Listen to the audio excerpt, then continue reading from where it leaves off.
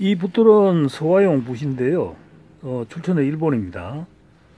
연대는 제가 듣기로 1970년대 정도 됐다고 내가 들었는데 문제는 저기 문헌을 찾아보면은 어, 붓은 우리나라 붓이 제일 좋다고 했거든요.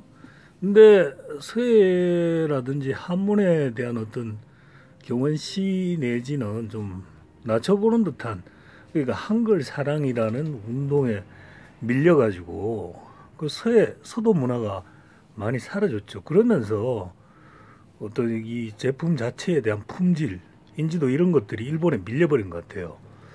하여튼 지금 현재로서는 서해 제품 그 화구 쪽, 그 문방사구 쪽으로는 일본께 더 좋다고 알려져 있으니까 뭐 그렇게 하시면 될 것 같고 총 둘, 넷, 여섯, 여덟, 아홉 자루입니다.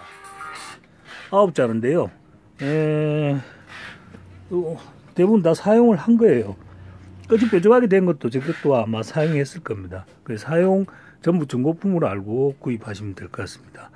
길이는 제일 긴 게 26cm, 27cm 정도 되니까요. 그 나머지는 어, 기준 잡아서 어림짐작 하시면 됩니다. 고맙습니다.